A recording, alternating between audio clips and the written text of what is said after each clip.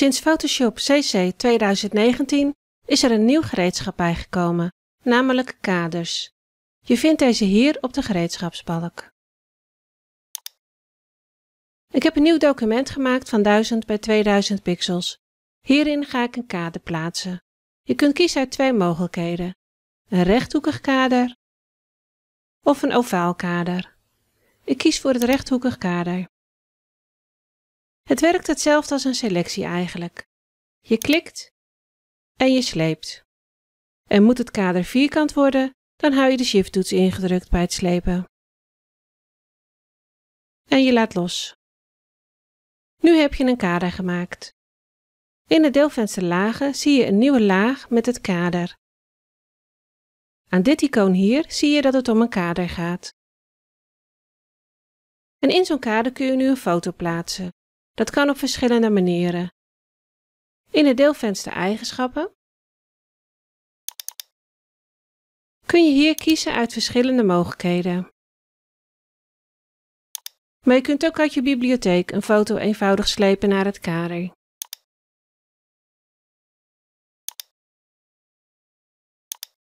Je klikt en je sleept.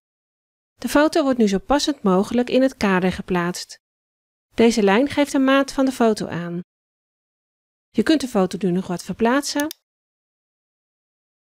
En met Ctrl-T kun je de maat van de foto aanpassen. Je bevestigt met het vinkje. Als je nu dubbelklikt in de foto, dan zie je een zwarte rand om het kader. Met Ctrl-T kun je nu het kader en tegelijkertijd de foto van grootte veranderen. Je bevestigt bijvoorbeeld weer met het vinkje. En als je alleen het kader wilt wijzigen qua grootte, dan klik je op de zwarte rand en versleep je het kader naar de nieuwe maat. Ik klik ernaast om dit te bevestigen. En met het gereedschap verplaatsen kan ik de foto nog verplaatsen. Ik dubbelklik en als je de rand van de foto ziet kun je deze verplaatsen. En ik klik er weer naast. Je maakt nu een ovaal kader.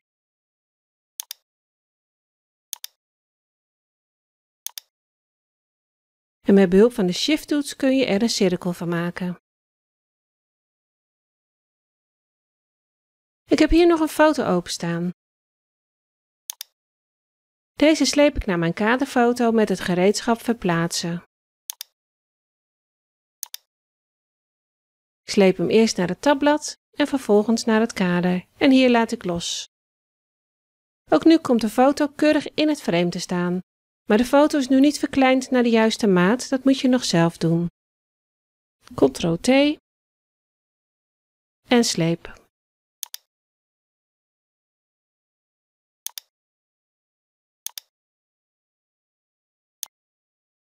Je kunt bevestigen met dit vinkje of door dubbel te klikken. Ik zal wat meer ruimte maken. De foto is nu een slim object, dat zie je aan dit icoon. Dus je kunt de foto later weer groter slepen zonder kwaliteitsverlies. Je kunt ook van een aangepaste vorm een frame maken. Zorg ervoor dat hier vorm ingevuld is. Je kiest een vorm.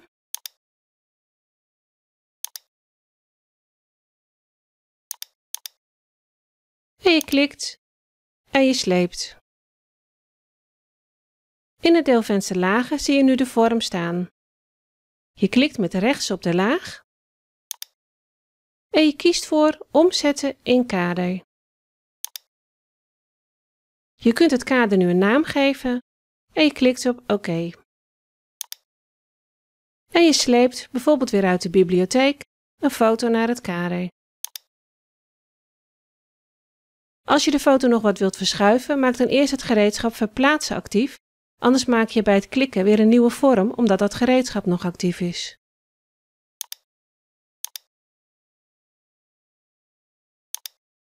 Als je een randje om het kader wilt zetten, dan kun je dat regelen via het deelvenster Eigenschappen. Zorg ervoor dat het kader geselecteerd is En je kunt dan via deze opties hier een randje maken. Je kiest eerst voor het soort lijn en je kiest een kleur. Bijvoorbeeld via de kleurenkiezer een kleur uit de foto.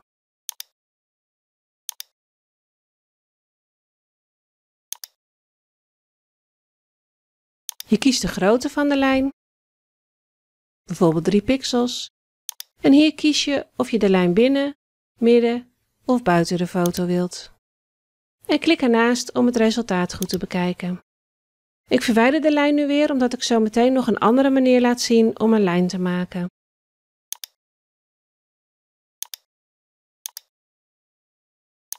Je kunt ook van tekst een kade maken. Je typt een tekst in.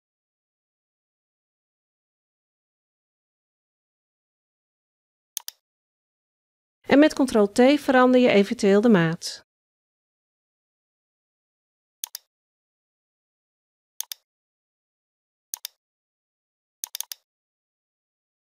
In het deelvenster klik je met rechts op de tekstlaag.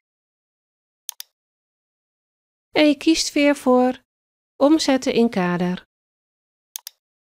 Je verandert eventueel de naam en je klikt op OK. En je plaatst er weer een foto in.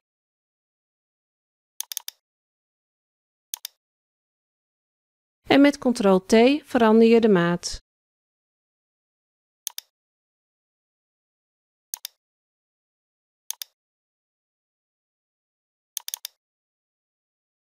Selecteer weer het gereedschap verplaatsen.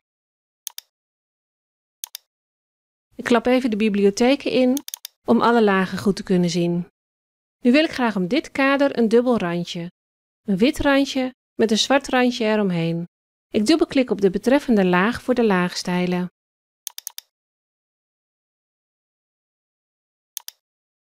En ik klik op lijn. Maar het lukt helaas niet om hier een lijntje omheen te zetten. Ik annuleer dit venster. Gelukkig is er een trucje. Je maakt eerst een groep aan door op dit icoon te klikken. En je sleept de laag naar de nieuwe groep. Als je nu dubbelklikt op de groep, kun je wel een lijn maken. Bijvoorbeeld een witte lijn van 10 pixels. En je vinkt de tweede lijn aan. Je maakt deze zwart. En je maakt er 13 pixels van. Een kleine slagschaduw is ook wel mooi.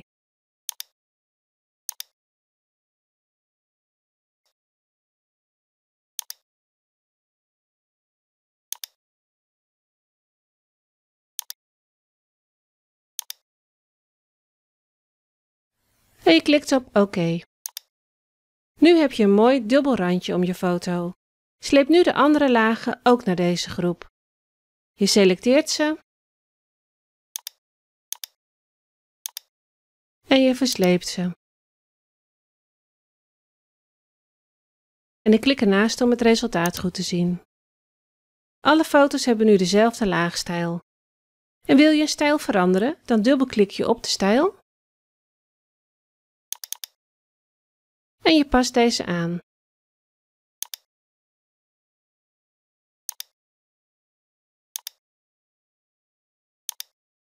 De stijl is nu voor alle lagen veranderd.